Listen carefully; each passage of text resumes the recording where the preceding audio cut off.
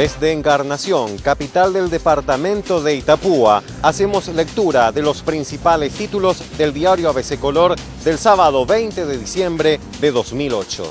UIP pide el fin de atropellos a los bienes y a las personas. Paraguay exige seguridad física y jurídica, dice Gustavo Volpe. Tres detenidos por crimen de empresario. La ola de asaltos no da tregua en todo el país. Autorización irregular para importar 78 mil kilogramos de explosivos. Bajante del Río arriesga provisión de combustibles. TAM cooperará para certificar los vuelos internacionales. Información de portada. Capturan a principales sospechosos del crimen del productor argentino. Un guardia, el administrador de la estancia Marangatú de Canindeyú y un ex empleado del establecimiento cayeron como implicados en el crimen del sojero argentino. Lugo admite que será difícil evitar el cuoteo en cambio de la corte. Presidente anunció que en enero volverá a convocar a líderes en la página 16 encontrará el editorial que trae el título No dejar el trabajo eficiente y honesto a merced de la violencia.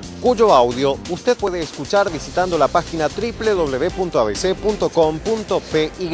y en el plano económico instan a aplicar buenas prácticas en agricultura. En el marco del taller sobre buenas prácticas agrícolas realizado ayer en el Mariscal López Shopping, los disertantes instaron a que en el Paraguay la producción sea realizada en el marco de la aplicación de buenas prácticas agrícolas. En deportes, la albirroja es de oro. La selección nacional de fútbol que lidera las eliminatorias rumbo al Mundial Sudáfrica 2010 obtuvo el premio principal, la estatuilla Victoria de Oro, durante la decimotercera edición de la Gran Noche del Deporte. Acompañan al ejemplar el suplemento Casa y Jardín, el suplemento comercial Manos a la Obra, el suplemento especial Guía de Regalos Navideños y gastronomía.com, la revista del buen comer y la salud.